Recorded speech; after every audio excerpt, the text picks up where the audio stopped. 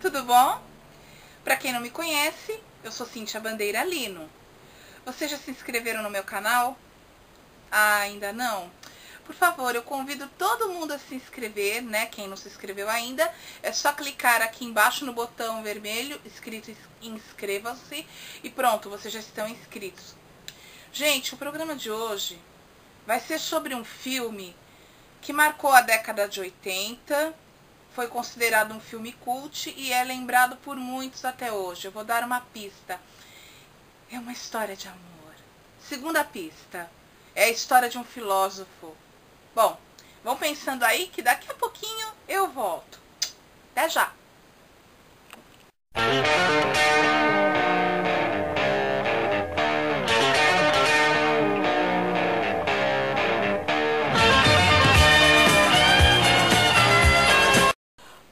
Meus livros estão à venda no site www.clubedeautores.com.br. Vou repetir: www.clubedeautores.com.br.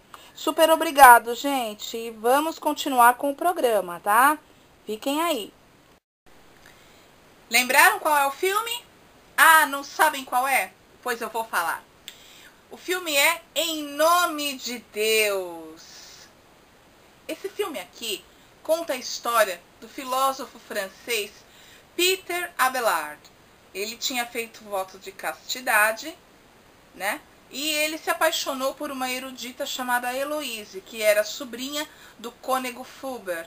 Cônego é um padre que toma conta de catedral. A catedral em si era Notre Dame, que levou mais de 300 anos para ser construída.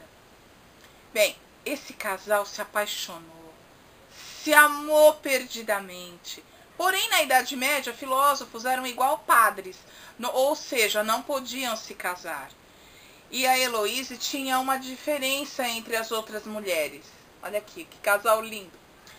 A Heloíse era estudada. Mulher na Idade Média não podia nem aprender a ler e escrever. Elas só serviam para duas coisas: ou para serem freiras ou para serem esposas e parideiras, terem filhos. Mas a Heloísa era totalmente diferente e foi contra todas as tradições francesas medievais. Eu vou ler a sinopse do filme, tá? No século XII, Abelard, um respeitado filósofo e professor em Paris, é contratado para ser tutor da bela e inteligente Heloise. Rapidamente eles se apaixonam, mas precisam manter seu relacionamento escondido de todos, porque Abelard está comprometido com o celibato.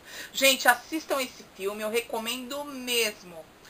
Muito obrigado por acompanharem o programa, tá? Brigadão.